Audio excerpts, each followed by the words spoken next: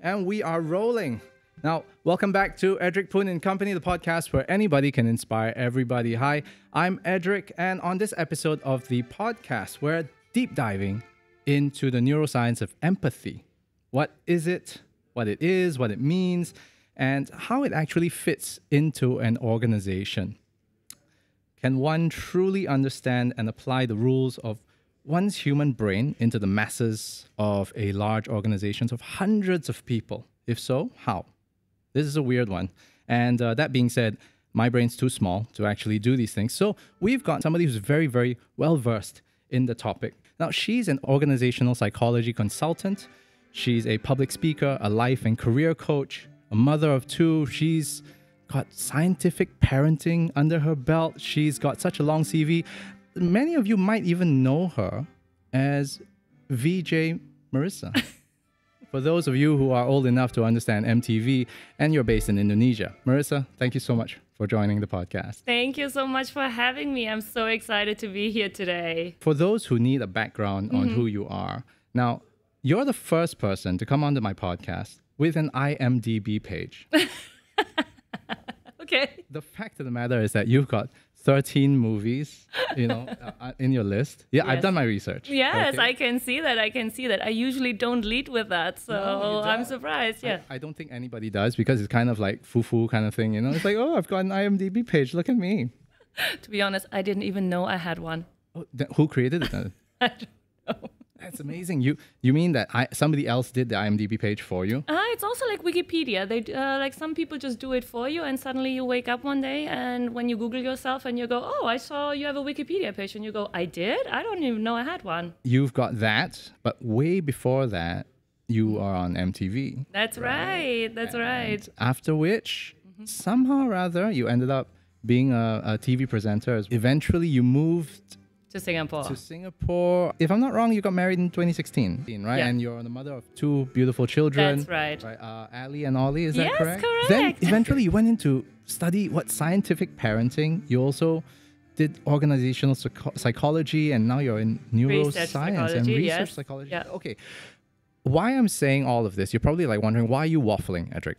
It's because I'm trying to understand number one, how does a TV presenter, actress, take a break, have kids, and eventually, right, go into the depths of parenting, in the science of parenting, as well as the science of the human brain. Like, how does that transition happen? It's it for me. It's kind of like playing with Legos, and all of a sudden, I'm building rocket ships. This does not make sense to me. But isn't that how it usually starts? Isn't that where the children start to play with Lego and suddenly they realize that their dream is to go to the moon or like to go into space and build their rocket ships? It doesn't apply to me because I was the one who was always like destroying every. So you were thing. Godzilla going through the Lego castles and just like taking it all down. right. I, I love the movies so much, so Yeah. I definitely enjoyed being uh, in that role of be the destroyer, or you know. But uh, stepping on the Legos was a different thing. Oh, that, yes. that was not fun. Yes, that hurts. Yeah, so that hurts. why the the- parents and the kids. Why Godzilla never felt that pain Mm-hmm. is the strangest thing. Anyway, I I digress. Like, what kind of triggered you, and when? You know, I, I'm gonna stop this TV thing, Mm-hmm. and I'm really gonna deep dive into people's brains. Okay. I think it all started for me with the realization once I became pregnant, and it made me ask what kind of person I want to be and what kind of person do I want to be for my children. This um, there followed was followed by simply the question, what kind of purpose do I want to fulfill in my life, and what are my core values? And I think it's really an interesting time when you become a parent that you have this sense of introspection and really reevaluate your life. And there's many working or who are interested in the field of psychology is first and foremost the questions who am I? And what makes me tick? What makes me think the way I think? Why do I behave the way I behave? And why do I feel the way I feel? And really finding the mystery of that led me into finding the curiosity and mysteries of child psychology. How do these little people um, think and behave, and how can we support their growth? First and foremost for my own children, but this really cascaded into my love for psychology and our human brain and mind. You invested quite a number of years to really switch. I And, did. Yeah, I really applaud you for that kind of commitment because it almost sounded like you gave up an entire cushy lifestyle to start all over. I did. I think my husband would agree. Yeah. With, with the things that you've picked up, I, I just want to get retrospective here, be it whether you're acting, doing TV work, or, or anything along those lines. Mm. W- What were the parallels that you could draw from those things back then, the lessons that you learned, and putting that into what you now know, into this topic of empathy? I think what I learned was I was able to forgive, first of all, myself for things that I didn't know before, oh. right? Because first and foremost, we're learning a lot about how we humans work, how our brains and how our minds work.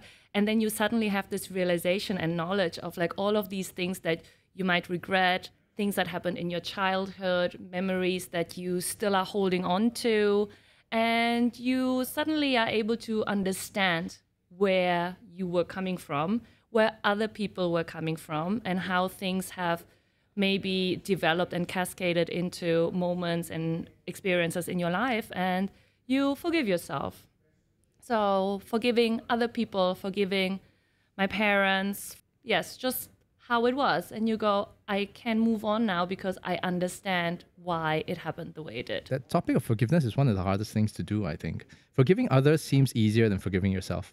that I do agree with. And I think if you also really look at where we live, okay, where we live, I mean, like in a point of time, we are constantly worried about the past or the future, that we rarely are living in the present.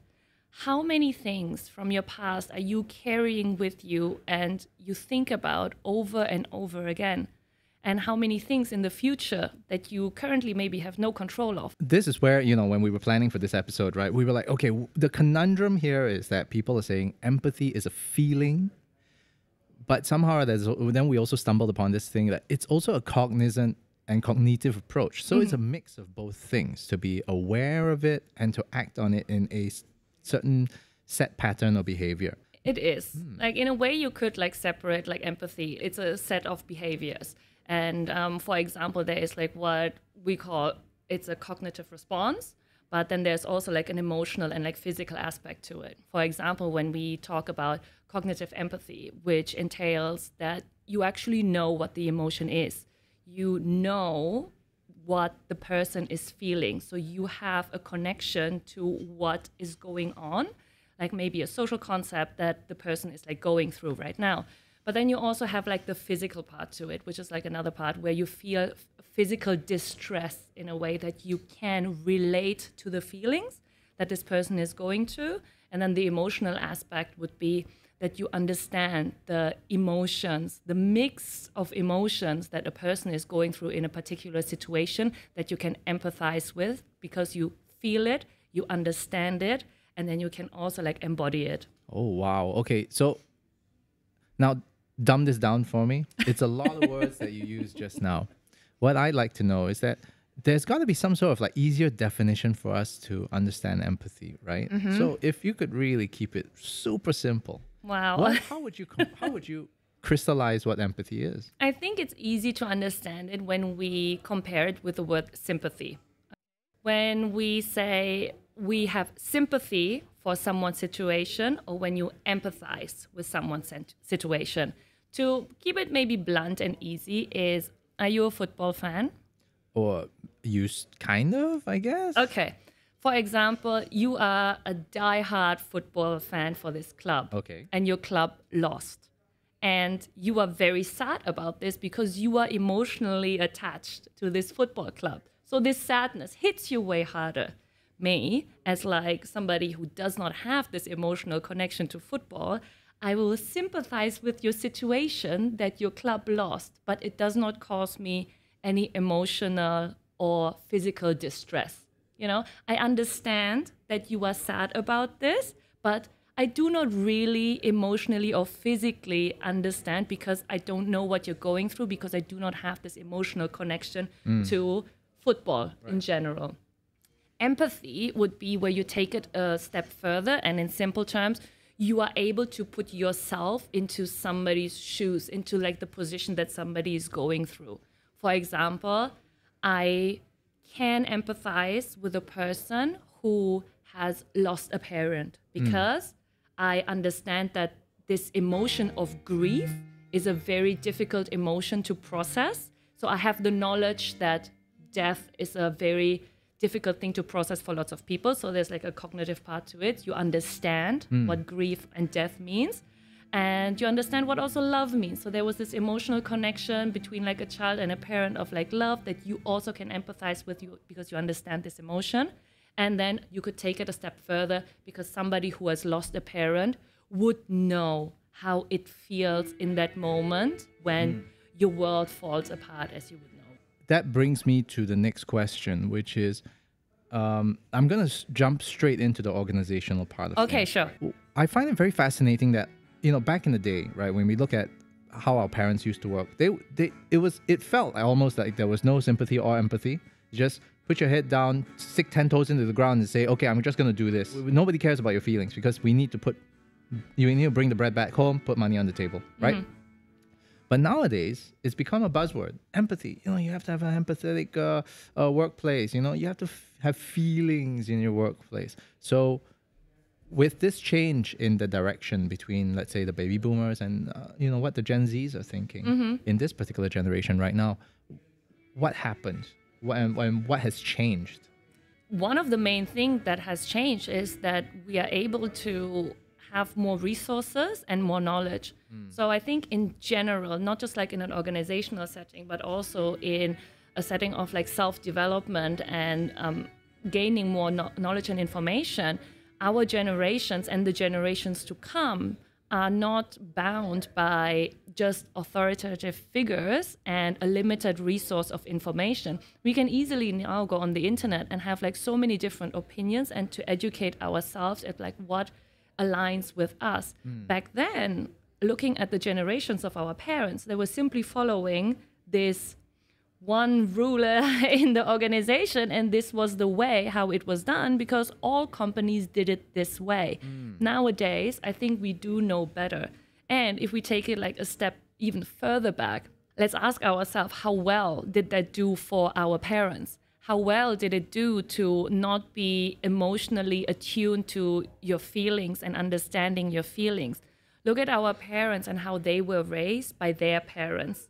You know like you mentioned like just keep your feelings inside. Let's not talk about our mm. emotions. Emotions don't exist. Boys don't cry i think is one of these mantras from like back then. It shouldn't. Sorry, I was raised in, in a very similar fashion. But, exactly exactly. So it's an all encompassing field because it's not just an organization. It's also what your home was like. It is what you were raised to be. And these values just do not align anymore with the digital times in which we are living in now. Hmm. Now, people who work for organizations want to be valued because they know better, they have educated themselves, and they have also for them defined like their own core values. If we talk about emotional intelligence, it is not just a nice skill to have. It is for many an essential core skill that you need to bring in leadership. When you care for people, when you lead people, you want people to align with you. You want them to help you. You want them to be inspired by you and be motivated by you. You don't want people to simply follow a leader blindly. Looking at history, we know how well that went for lots of nations. Yeah, I'm- starting to see it now because there's a bit of a reframe that I'm looking at it right now. Previously, it was kind of like, okay, this is the leadership style. How come these people aren't uh, getting it? How come they're not following? How come they're not uh, acting like they should? You know, in that sense. But now it's kind of like it's the other way around, whereby okay, our workforce is going to be like this because they are born, they're bred this way. So the leadership needs to change, and we, the leaders, need to adapt to understand that. companies where structure is hard to where organizational structure is hard to change because they follow this like organizational hierarchy or are we looking at young dynamic um, startups or companies that want to bring this change Right. and embody this change and i think the the balance will be somewhere in between They say that you can't teach an old dog new tricks. Help me out here. Help me out. Help Yes. me out here. I think the beauty of it comes from the field of neuroplasticity that it doesn't matter how old your brain mm. is, your brain is changing every day. And what you can do if you would like to change is simply expose yourself to new experiences. Your brain needs new perspectives and new ways of thinking. But also, I think the conundrum is that your brain really dislikes things that are new. So our brain loves to be able to predict what's going to happen. Mm. And that's where, in essence, the sentence comes from that you cannot teach an old dog new tricks because you think you have been thinking, doing, and behaving and feeling this way for decades of years. And it is really in your brain there's like shortcuts already that have been mm. made like neural pathways that define you. But the beauty is that you can change. The most important thing is that you need to be aware that you want to change and then take the courage to do things differently. For example if people say how to teach empathy it's simply for example by volunteering taking on new perspectives, understanding new experiences, and really coming for it with an open mind and open heart. Hmm. I think if you say, okay, this is something that I just want to get off my checklist, it's not going to work. You really need to immerse yourself into the emotions, but also be able to sit and understand your own emotions. So I think the first part is that you understand your own emotions also first and how to regulate them appropriately. Right. So it sounds like there's a process. There is a set process that can be put into a company. These are ideas. It's not necessarily that you that this is exactly the way, but these are like some ideas that we could do in our everyday life. yeah, you gotta Yeah. practice it consistently. That's the idea, right? If you don't, it's just a one-time thing. It's like, okay, yeah, I feel for you. Okay, great, bye. Yes. And then that's it. It's it's, it's dead town, right? Nothing. It doesn't work. Yeah, you really need to immerse yourself into the new experiences. I was having a discussion with uh, Mm-hmm. a couple of people within the HR realm about Okay, leadership, interesting. training, development, that Yeah. kind of thing. And I posed the question to them, which was uh, something we talked about. Mm-hmm. If if we needed to teach leaders or show them the change in the empathy, right? There are also leaders out there who are like borderline sociopaths, right? Who don't really feel anything. so, which which means that how how do you teach someone like that? Because there was this documentary that I saw, mm-hmm. and it was so fascinating because it was about how a clinically certified sociopath had to go through life in school to understand how people felt. Because as a sociopath, you don't give a shit about how people feel. It's so utilitarian. You do this, you do that, and that's it, right? I don't feel anything. But if let's say that person really grows up, and perhaps there are people like that uh, who who who have that condition, like what you mentioned, it's probably a burnt gland somewhere, right? And how do you teach them something like that? Because it almost sounds like a playbook that they go, okay, if if a if scenario A happens, I respond in, you know, formula A. Mm-hmm. If scenario B happens, then I'll use formula B. So it's so formulaic. It's so it it almost sounds like you can teach it and practice it, but it doesn't feel sincere anymore. So weird. It's true, but at the same time, this is like also how we learn driving, right? So when I, I know Tell me more.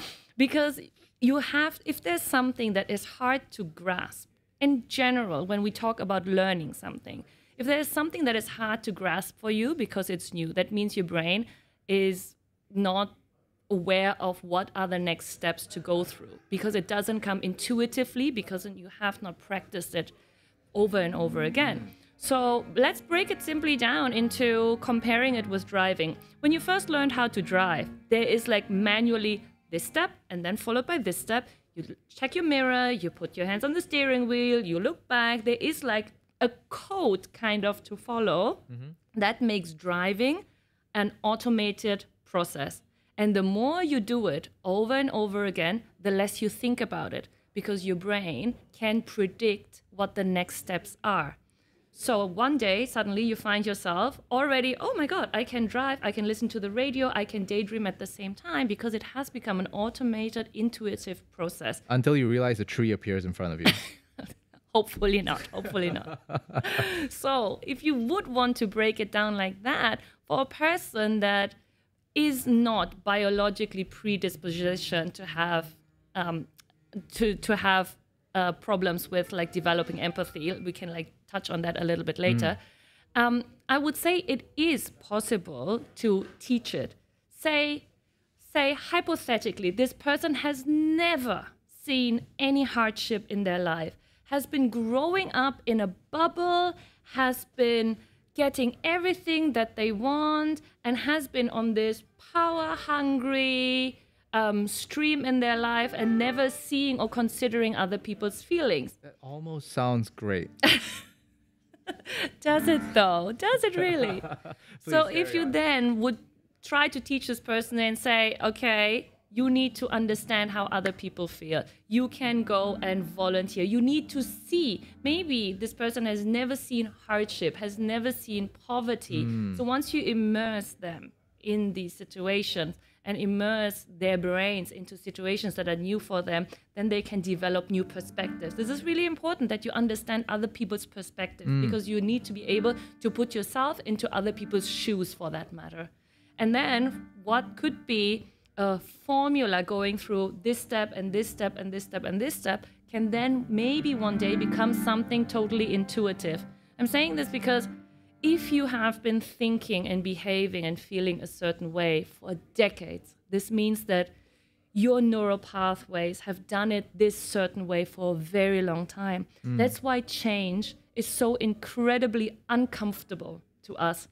And it feels so hard because we don't know how and we don't know what is on the other side. Mm. And taking the first step is really always the hardest to really put your first foot into the door to your new path. Can you can this apply to kids as well? Because I'm looking at it and it's like, okay, Yes. do you get kids to volunteer too? Is that how you do it?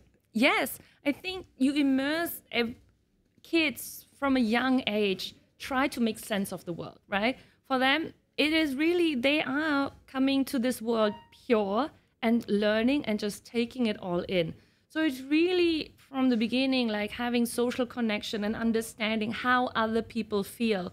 Because for them, their world mainly is about themselves and their families. But like to understand what happens if I don't share with other people, what happens if I inflict pain, not voluntarily, uh, not voluntarily, or um, not intended. What happens then? To understand that other people do have feelings. But then there's obviously also like a cognitive process that happens that they cannot grasp everything at a very young age. So this happens usually like around four, five, six, seven, where they can try for the first time to fully understand other children's and other adults also like mental states and what it means that I think differently than you. Oh wow. Okay. That that really blows my mind because I've always had this idea that because we're older, we're more mature, so to speak, right? That means that our approach to life and approach to learning should be different. But truth is, we're pretty much still learning the same way as kids do. we are learning every day. I think if you expose yourself to the ability that you can learn every day, this is the beauty of the brain that it does not mean that who you are today is who you're going to be tomorrow or in a year from now. Hmm. I mean, every person, when you look back a couple of years and you go, this person seems foreign to me because it is a part of me and part of my past, but I have grown so much because I've learned so much, I have seen so much.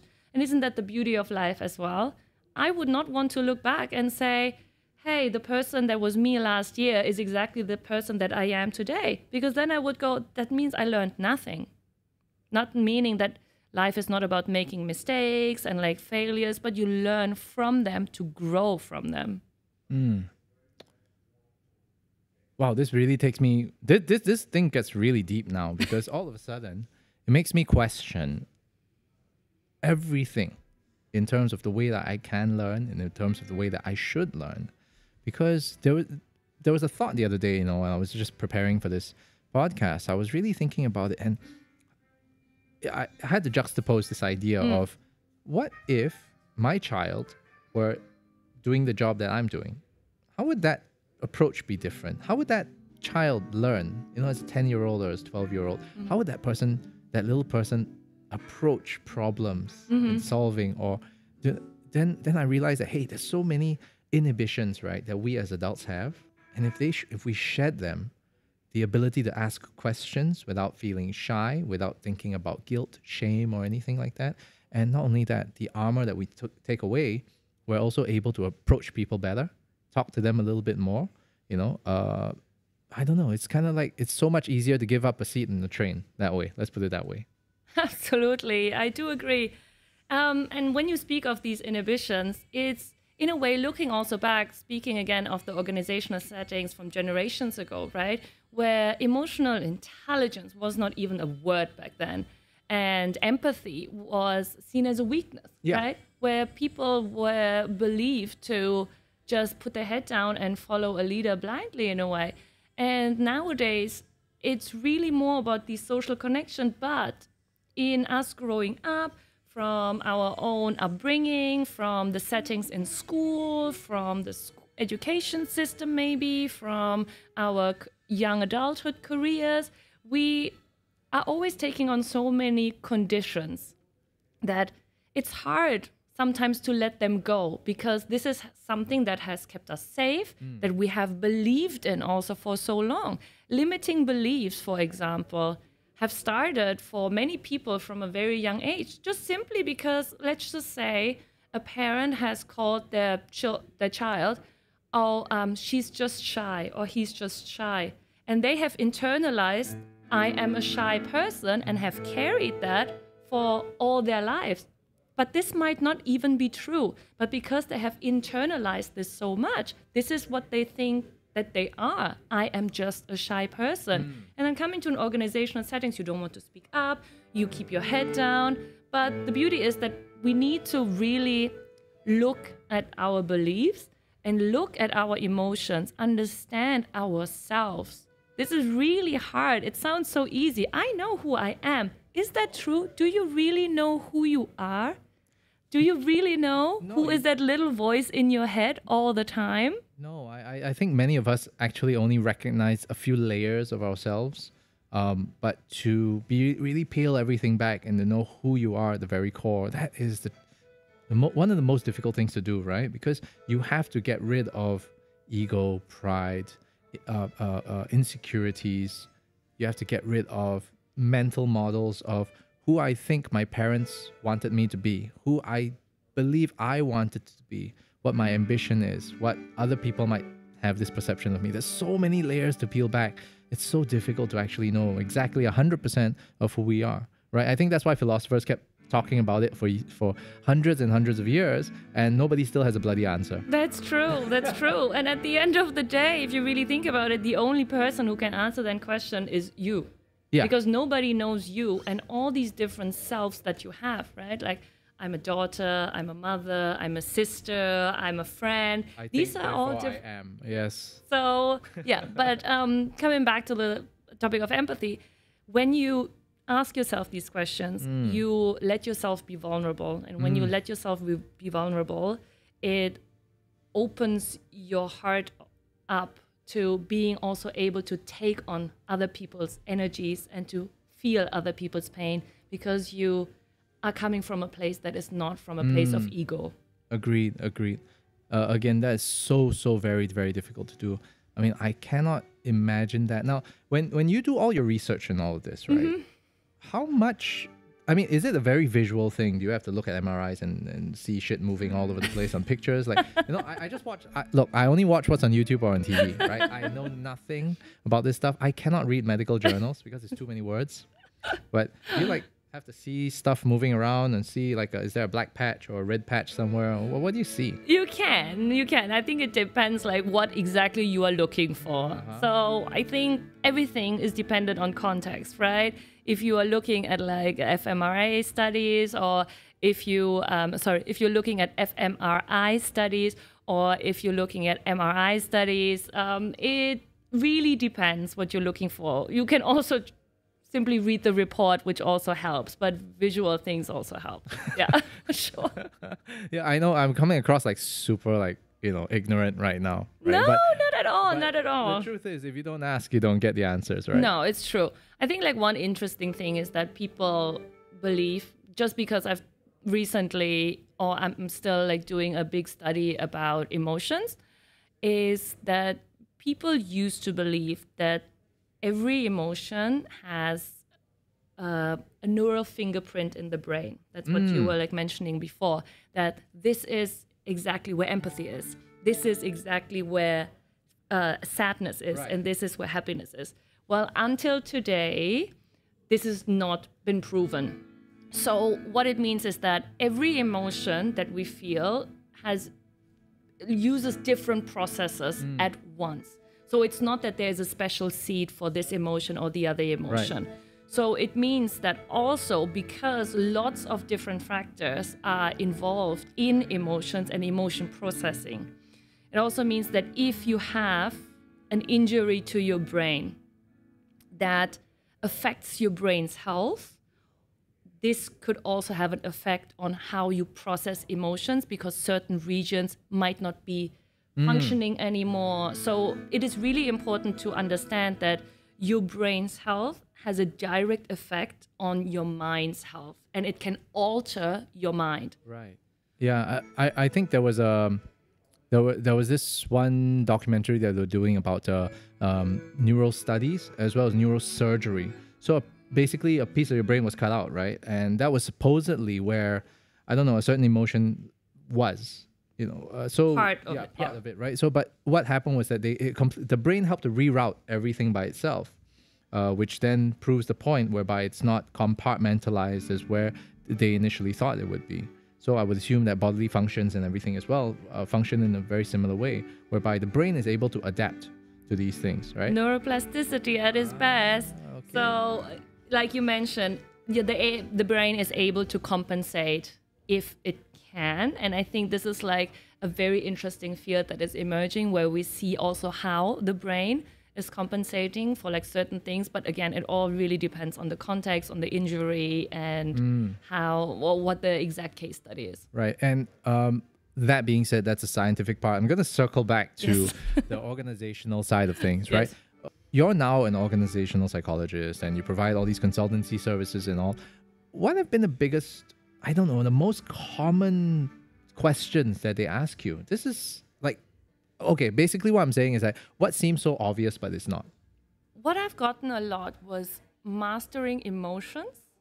So they're asking you, how can I master my emotions? Yes, for example, anger management. Okay, so don't be angry.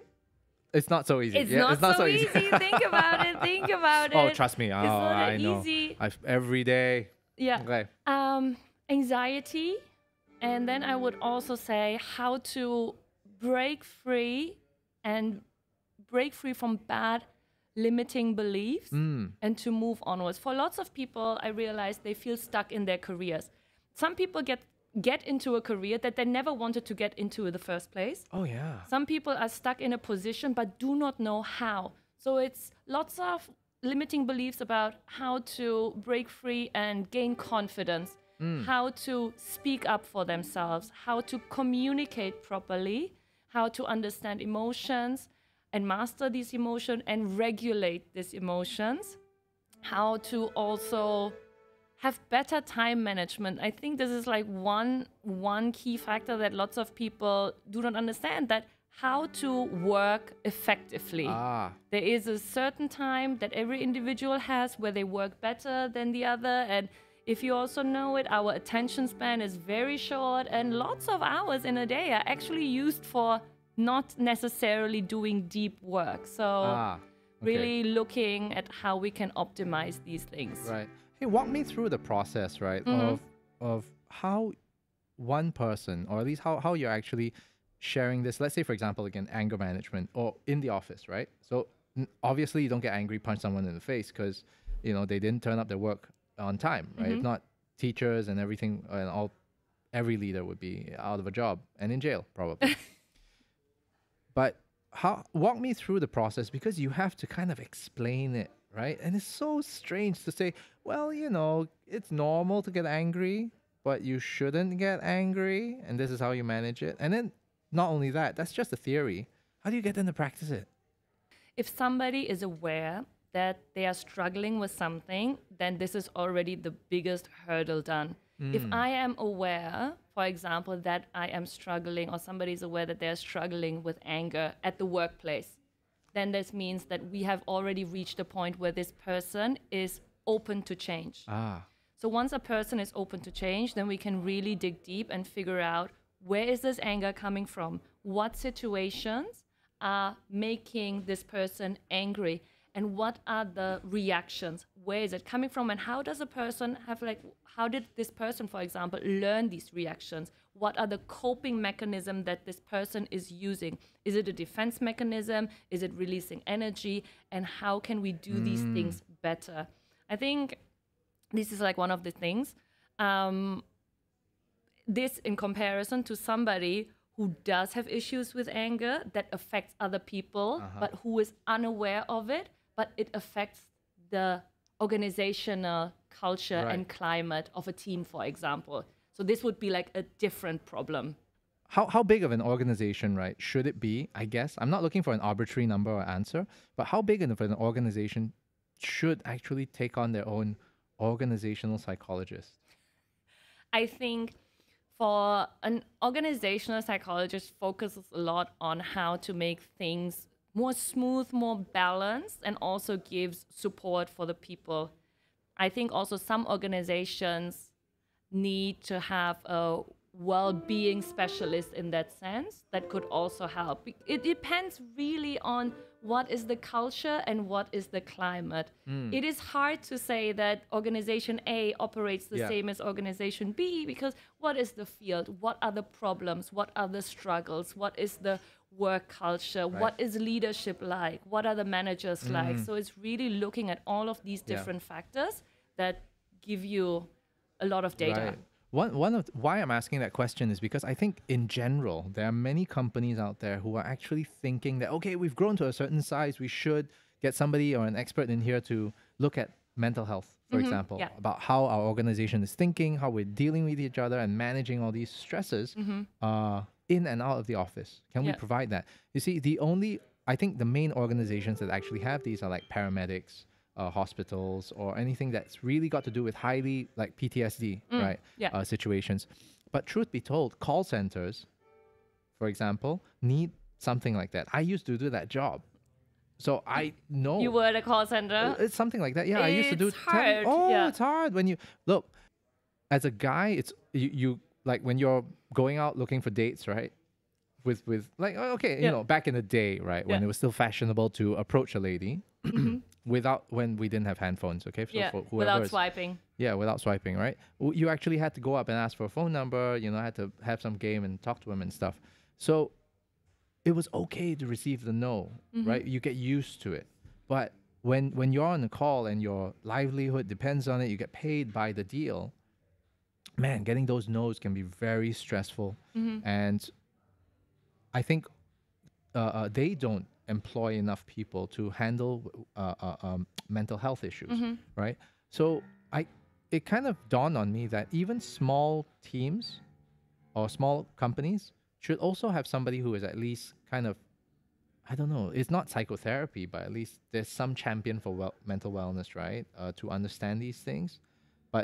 Then the irony comes in, whereby because the company's a startup, everybody's stressed out, everybody's trying to do their thing. I can't care about your mental health if I can't even deal with my own work. Yes. well, in a utopian world, I would wish for every person in Mm. an organization or not to have a well-being therapist Right. in a way not well-being in a sense of wellness like for mental well-being because it ties back to physical well-being Mm-hmm. as well and i think unfortunately our our insurance culture focuses more on the physical well-being aspect instead of the mental well-being aspect and that's why it is hard for many people to justify who do not have financial resources to get help to who do not have the ability to get help simply because of financial resources stigma attached to it as well. So i think the first step as you mentioned could be that organizations could have their own in-house maybe third party but still in-house so not like blur the lines in a way and it cannot be cannot be like something that is too tightly mm. connected to the organization In other words, call you, right? Yes. Yes. Please call me. Okay, so stay on till the end of the podcast. Marissa's going to be uh, giving her contact details, and I'll also be putting that into the description and all the data below. Okay, so whatever it is, if you really have those needs, please uh, contact experts. Marissa is definitely available for something like that. So wink, wink, uh, give her a call. okay, so that being said, right, like what I also wanted to ask you is again back to the organizational part. Yes, we need the people there. We need to understand and be cognizant of that our organization may need support like that. Right, that's one thing. Um, but again, with all this understanding and all this knowledge that's coming through, data is everywhere. You can pick it up from the internet.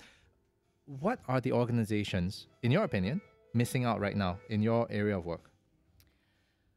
I think what I have seen recently, or what some of my clients, individual clients that came up to me with, are when you get an appraisal, right? Then they are left with this appraisal, and then they have gone through HR or with their manager with it, but they do not get the support to actually do the changes that were suggested. Mm. So this is something that I have recently seen that some clients come up to me and it's like, I have these 20 pages of my appraisal and I know what to do, but I don't know how.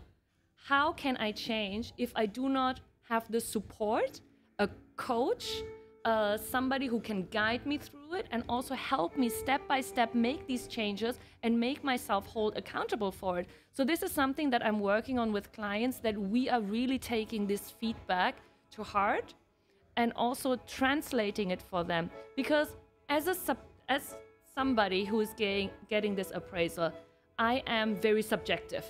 I am taking things very personally right? I'm taking things very emotionally if somebody criticizes me or criticizes my personality and character. So if you have a guide or a mentor who can coach you through it from an objective point of view and take you back to a point where it's like an objective point of view it is not everything is like an emotional story or an attack on you this is something that would be i think for the benefits of a company and its people you really need a guide and a coach to get people to make these changes effectively continuously to really achieve like a lasting change for the oh. betterment of the people and the company Wow. Okay. So it's not as simple as it sounds, huh? It's not as simple as we talk about. Like, oh yeah, you just need to have somebody to two teams and stuff, right? it's it's hard to lead a team of like lots of people, right? Because you are technically, let's just like simplify it, like looking for KPIs. If you're like a manager of a team, you have your own KPIs to the company Yeah, that yeah. you um, are bound to in a way and that you want to achieve. But then for these people, it's really personal. It's really personal to get this feedback, and some feedback can be really harsh and difficult to process. So if you have an outside person who is not where the KPI is the person. It's not what am I achieving for this organization? I need to like cross the sales number. I need to achieve like this X amount. But the KPI is this person and their personal development. You care. And this is like the first and foremost that you grow this person to the change that they can achieve to like their personal development to you you unlock this potential in the person and this is like beneficial for mm-hmm. the company and the persons and the people who work there Wow. i just got a message last week where somebody that i've met at an event mentioned that they just got like their appraisal about emotional intelligence and then they were like well i do not know. I don't i know what emotional intelligence is he mentioned but i don't know what to do with it. So what do you do with all of this feedback all of this data that these companies have been gathering for so long to like put together this beautiful 360 feedback portfolio? But what do you do with it? The next step is to really take these people and mentor them and coach them and work with them this is hard for like a team leader mm. who is maybe leading teams of 20 30 people but this is like some somewhere where then an organizational coach can come in and help work on career on soft skill development on ei development on cultural development Yeah, and what's the realistic timeline for change to happen? Because it's very easy to say, okay, fire that person, bring in another leader, and let's see. I want results in three months. It's hard. It doesn't work that because way. Because you cannot say that person A is the same like person B. Hmm. And then having somebody who is maybe informed, like in psychology, helps also to uncover what are maybe the hindrances. Why is a person not communicating effectively? Is there something that happened in the past that has eaten away at this confidence of this person? So it's lots of layers. It all depends on Right. context. But I, I don't think it's something that we could e- honestly say that it's like, okay, we'll solve your problem in three months. You know, it's like kind of like, okay, change the TV and everything's going to be okay. Yeah. it's not going to be so easy. say for somebody who for example if your feedback has been that you need to be a better public speaker or Uh-huh. present better your presentations because you are in a role who needs to speak to for example other businesses and clients more frequently if this is somebody who has been, for example, hypothetically bullied in high school, has been eaten at confidence and self esteem, but is really good at their job, but is lacking this core skill, you cannot say, sure, let's fix it within a week. You can't because it's something that has been ingrained for so long. But then you look at it like, what are the strategies that we can work on to release these thought patterns that hmm. have been embedded for so long to really break free from that and let them go for good. Right. Not something that is a quick band aid fix. Yeah. You want to grow for good. Have you ever met a client that goes, nah, this is taking too long. Make it quick. Make it quicker. No. Heal him quicker. luckily not. Luckily not. But the frustration comes for mm. the individual clients because in the beginning you're always very motivated. Yeah, yeah, right? yeah, you're yeah. always very motivated because you have come to these conclusions that you want change and you like storm through the door and you're just like, I am ready, I get to do this, I can do this. And usually after two weeks, it gets really hard. It gets really hard because something came in and your usual routine suddenly creep back in the changes that you've made because something else has happened at work that suddenly made you believe otherwise and suddenly you find yourself maybe even a step back from the Right. starting line where you were. And then you go back into this this thoughts of like i'm not good enough i'm not worthy of or i cannot do this. Mm. And then getting out of that hole just takes so much more energy but you can. You just have to believe in yourself. It sounds really silly but it is hard work i mean really if you have thought a certain way for 30 years can you really accept uh, expect of yourself that you can make changes to change how you think in two weeks 30 years compared to two weeks it's hard so you need to forgive yourself again yeah. and give yourself the time to grow Wow. So it's interesting that you mentioned two weeks because that seems to be the magic number, right? I, I do recall that. Is it because it takes what? How long does it take to create a new habit? Is it 14 days or is well it seven days? Well, pop culture would say that it's three weeks Uh huh. but it really depends on how often you implement it. Yep. For some, it takes three weeks. For some, it could be less. For some, it could take months even. So yeah, but the pop culture number is three weeks. Right, and and you you mentioned that people get demotivated. I again, I'm I'm don't know if this is kind of a an average or an industry average, if you wanted to call it that. That people get demotivated after about two weeks of effort. Is do you think that's really is is that what the number really is? I'm taking this from my personal experience because I think the first weeks is first week is fantastic Yeah. because if you also plan it, say say for example you want to change a habit or you want to learn something new or you want to change something about yourself, whichever it is. Let's talk for habits. Um, because you mentioned it before. The first week you're motivated and you kind of plan it, right? You can like schedule your whole days or your week where you go, okay, I'm gonna work out four times a week and I'm going to schedule it straight away. But next week you're all you're scheduling it and suddenly, oh no, my boss has like called a meeting or I need to work late, so you're missing one. And then you go, ah, one is okay. And then a couple of days later, oh, I feel so sluggish. It's raining. I don't want to go anywhere. You're missing another one. And like, whoops, whoops, suddenly you're back in front of Netflix and you are back into your old ways. It is hard. It is hard to keep that motivation going, but it's really about consistency. It's not about what is the end result, and it's not a sprint. It's a marathon. And the thing is, you want to keep running because Mm. you want to also continuously getting better. Right. Say you have mastered a habit, it doesn't mean that that's the end of the road because Uh-huh. then you have set just a new starting line and you want to grow further. It's okay to have pit stops, isn't it? Absolutely.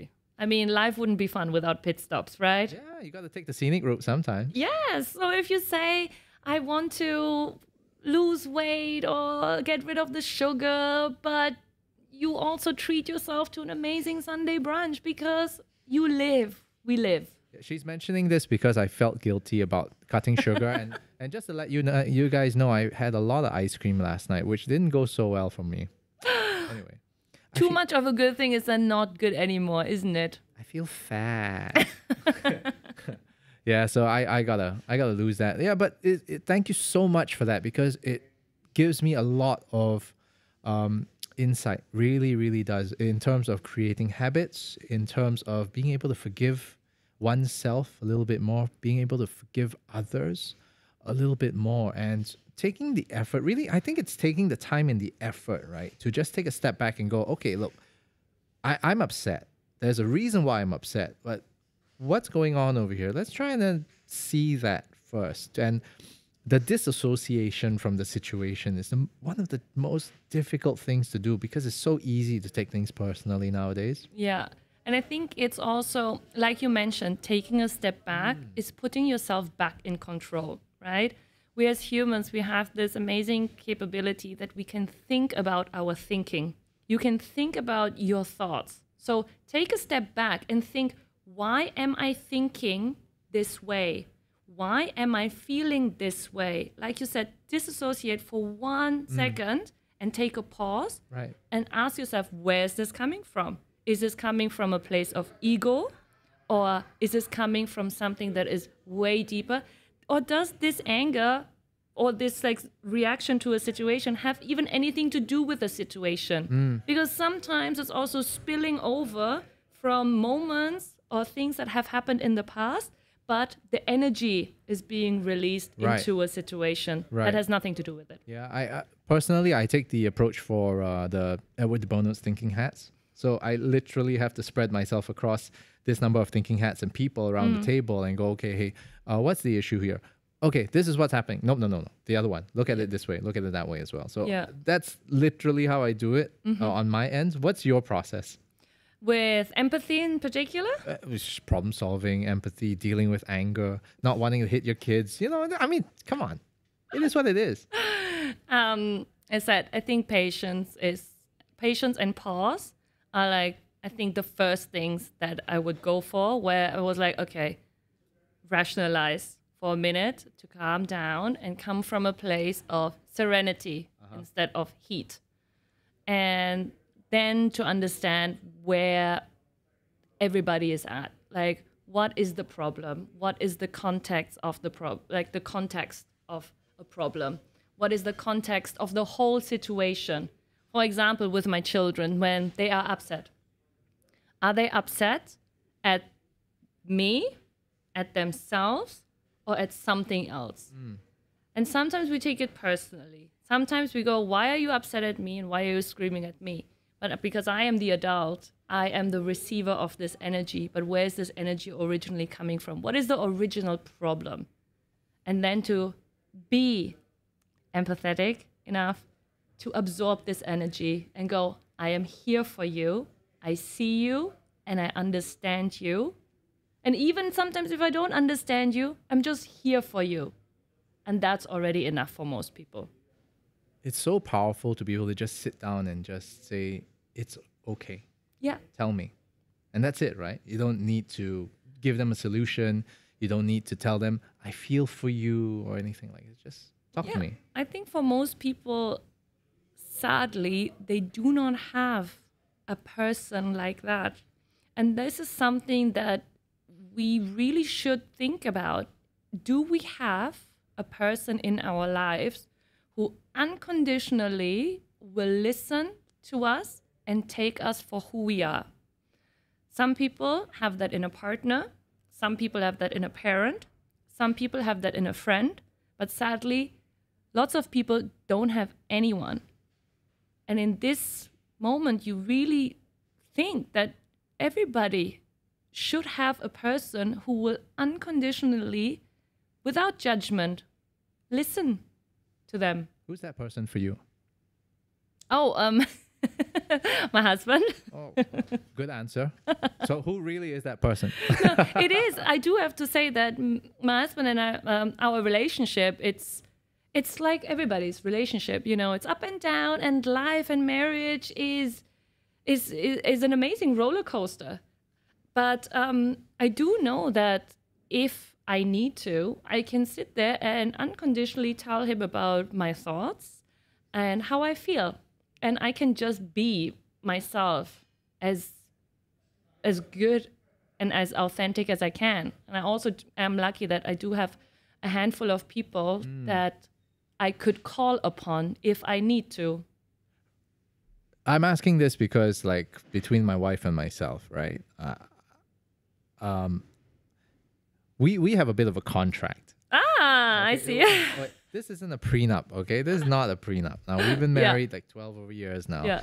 And uh, the contract, in that sense, it's kind of like okay, when you come home, don't just immediately bleh, yeah. let it out. You know, like let's let's find time to go. Hey, is it a good time for us to talk? Like seek common ground. Mm-hmm. Yeah. And uh, does that is that something that that you do as well, Yes. or is he like such a patron saint and he just like sits there and says, oh, just tell me everything? No, I think I I said like life comes as it is sometimes, and yes, these moments where life is like taken over is also happening. But at the same time, like you said, a relationship is a dynamic between two people, right? And you have to have respect for each other as much as you have respect for yourself. You have to go into conversations and see where are we at? Is this a good time to unload my energy to you? Mm. But sometimes you also, it's okay, I think, to say, I just don't have it at the moment.